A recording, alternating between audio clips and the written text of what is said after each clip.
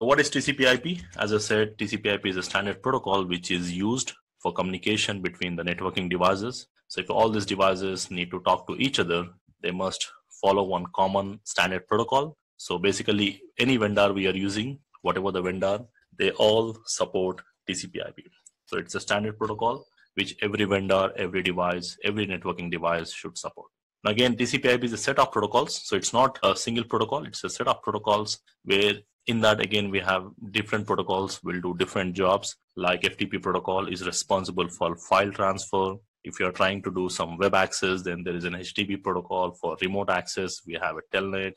For name resolution we have a dns so probably more on this tcp ip protocols like individual protocols what they do probably will be discussing in a tcp ip protocol section more in detail. Because in this section i just wanted to focus more on the ip addressing part rather than going on individual protocols initially. So different protocols works in different layers and different jobs they do.